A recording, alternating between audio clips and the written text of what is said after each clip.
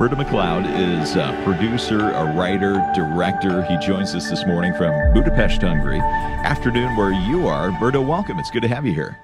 Thank you very much. It's a pleasure to be on.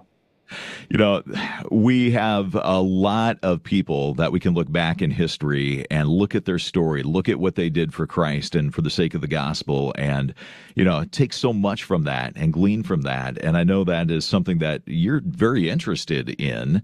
Um, we've got a new uh, project. Um, it's called Morning Star. It's a story of John Wycliffe. You've done things on John Knox. Uh, where did your interest in kind of that era of the, the Christian church come from? I guess I've always had an interest in uh, Christian history and this in the story of how we got from the times of the Bible to today. I guess for myself, I see it a little bit like a like a family tree. Um, I'm a Christian because people in my life brought me to Christ. Obviously, there was a direct connection between myself and Christ spiritually, but the gospel was transmitted to me by my parents were crucial for me, but also other church leaders and other uh, Christian contacts. But each one of these people, in turn, had someone before them that led them to Christ, and so on and so forth. And it goes back in a sort of a chain of relationships and personal connections all the way back through the centuries until you get to Jesus and the original apostles.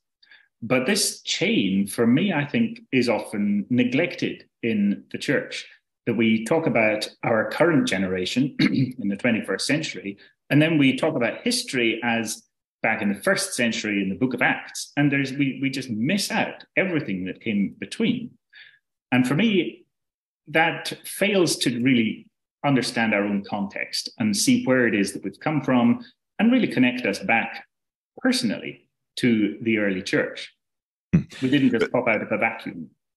That, that, that's so true. And what do you think the value is of going back and looking at some of those historical figures that did make that uh, difference? I, obviously, you know what you just said. We we know that um, we just didn't pop out of this vacuum uh, type thing. But as, as you've begun to dig in and uh, learn some of these stories, what's been the value for you personally?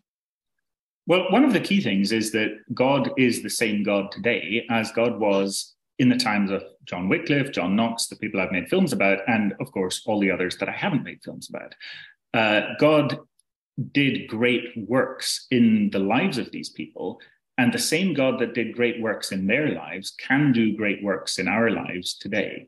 So for me to study the faith journeys of others in the past helps me in my own faith journey today to feel that I'm not just making stuff up I, am living as part of a great continuity of Christians who have gone before, who have all trusted in Christ.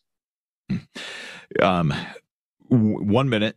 So we're going to do a very quick high level answer here, and then we're going to unpack that coming up in our next segment.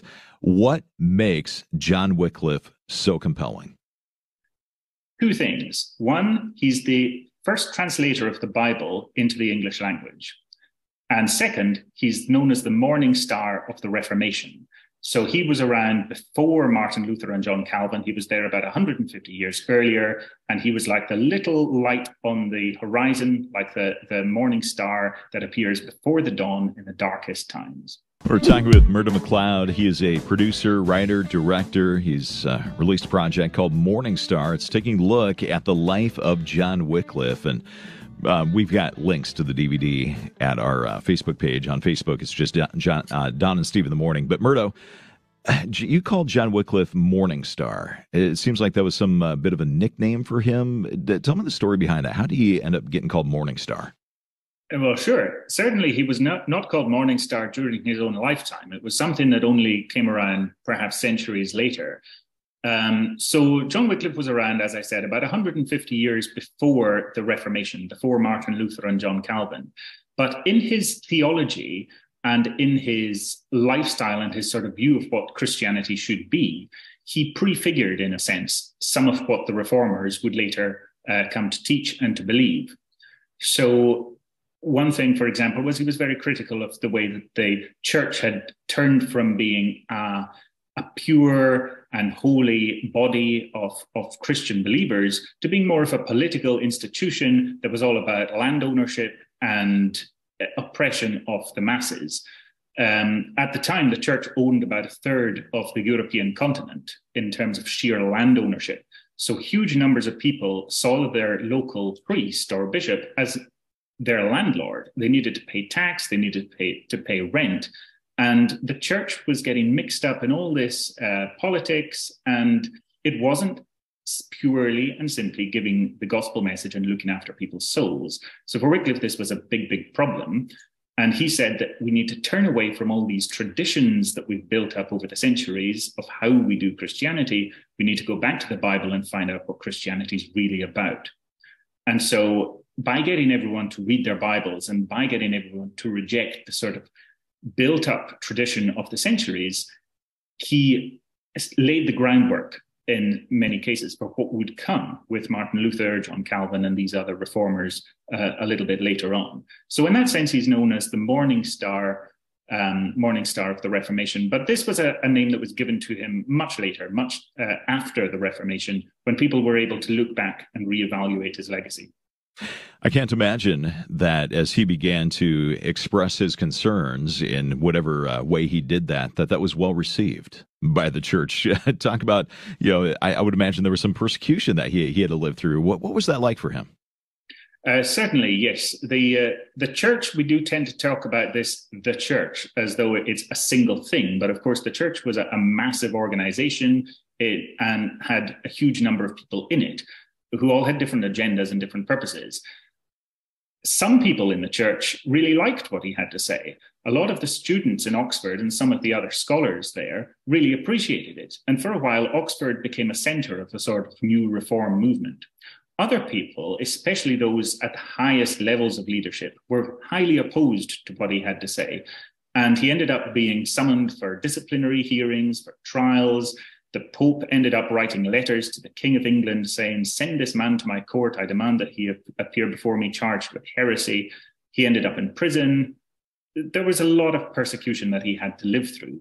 But his motto was that the truth will prevail. And so it didn't really matter if he, all, everyone around him was calling him a liar or calling him misguided, deluded. He was standing firm on the truth.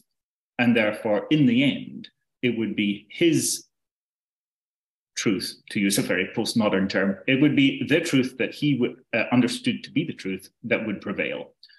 So he was confident that despite everything that would happen, he would be vindicated in the end. Hmm. And uh, so let's let's jump to the end here real quick. Um, was he vindicated before the end of his life? Uh, no. Uh, before the end of his life, I would say no. Uh, he ended up uh, being expelled from Oxford. Uh, he was able to die in peace. He had a stroke and died of old age, which is a rare feat for someone who was so controversial and so disliked by so many people. At the time, people were getting burnt for heresy, uh, burnt at the stake.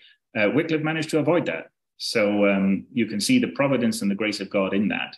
But it was really, it was only after Wycliffe died um, indeed, after Wycliffe died, his bones were dug up and burned for heresy. So the church was not content to let him rest in the grave in peace. They insisted that he was a heretic and had to burn dead or alive. So, um, yeah, he wasn't really vindicated until much later after his death. Yeah, eh, well, not vindicated till then, but what a legacy he has left.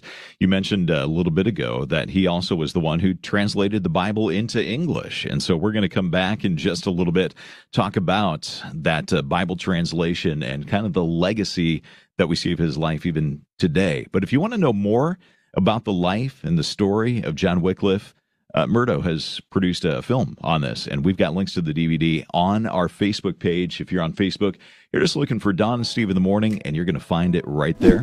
Which is continuing with Murdo Macleod. He's a producer, writer, director. He's got a film out called Morning Star. It's taking a look at the life of John Wycliffe. And Murdo, a little bit uh, earlier in uh, the conversation, you'd mentioned that he was the guy who translated the Bible into English. Uh, what do you know about his heart for Bible translation? Right. He's a very interesting guy from a Bible translation point of view, um, because, as you say, he's the first person to translate the Bible fully into English. There had been some translations into English before. In fact, the very first translation was by King Alfred the Great, who had translated the Gospels and some of the Psalms. But Wycliffe's claim to fame is that he translated the whole thing. Um, for Wycliffe, the Bible really was the, the foundation of Christianity.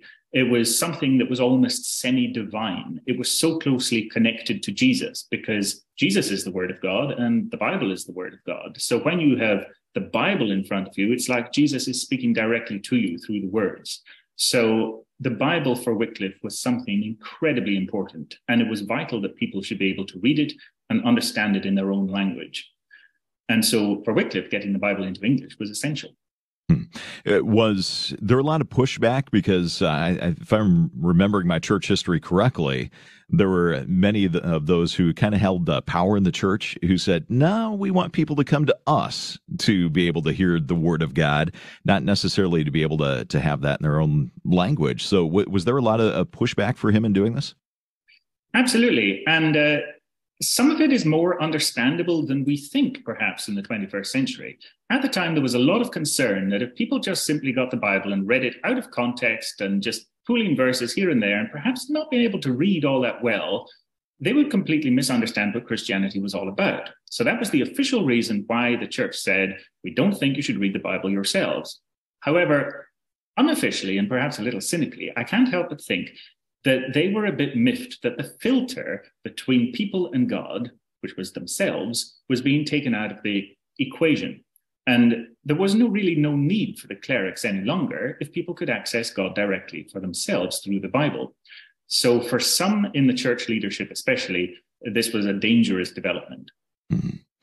Well, the uh, story of John Wycliffe is in this film called Morning Star. And uh, Murdo, tell us a little bit uh, about the film itself and why you decided I want to make this story into a film.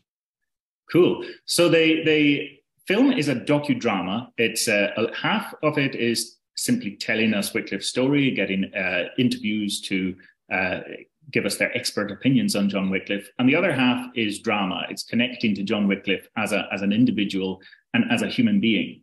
Because I think that sometimes when we look at church history, it can be a little bit boring. It can be a little bit like a historical lecture, and we lose interest, we lose connection. So, getting it on film and being able to see Wycliffe having a drink or interacting with uh, with his uh, his friends or having an argument with a bishop, it really connects us to who this guy was, what he believed, and what really motivated him, and it brings him to life. Yeah. And so, what is your hope for the person who watches this film? What, what do you hope they take away from it? I, am not really going in with a specific agenda of, oh, I'm hoping that they suddenly become a Bible translator and go off to some foreign land and uh, help help uh, in the, the work there. I think that Wycliffe speaks for himself and he speaks to different people in different ways. So, as we've been going around with this film, producing it and, and showing it to people, um, we've had question and answer discussions after these events. And usually they go off in completely different directions depending on the audience, because Wycliffe talks to us in different ways depending on who we are and what it is that we uh, find inspiring. But one thing is that Wycliffe is just an incredible figure. He had a huge brain, a huge mind, and he thought really, really deep thoughts. So as we explore that in the film, different light bulbs pop up in different people's minds, and they uh, they begin to to see something that they hadn't seen before. Hmm. Murdo Macleod with us. Uh, he is the producer, director, writer. Um, he's done a uh, story of John Knox. Obviously, we've been talking this morning about the story of uh, John Wycliffe, film is called Morning Star. And if you want to get a copy of this, we want to connect you to the film. And so we've got the link on our Facebook page. On Facebook, you're just looking for Dawn and Steve in the morning, and you can find the information that you need right there. Murdo, appreciate your time this morning. Continue telling those good stories.